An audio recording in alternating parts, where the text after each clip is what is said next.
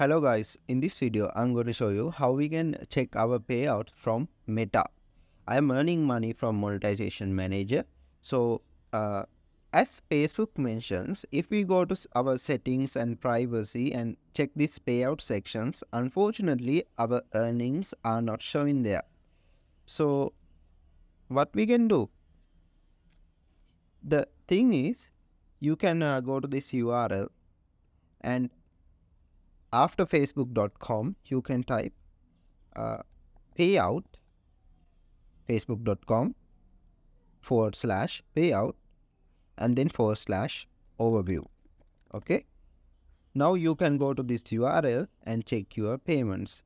And i will include this url in the video description so you can directly go to that link. Here.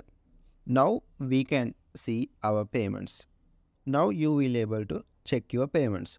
If you are having multiple uh, payment accounts, you can select it from this uh, drop down menu and select uh, whatever you want. Okay, I hope this video definitely helps you and please subscribe to my YouTube channel. Thank you.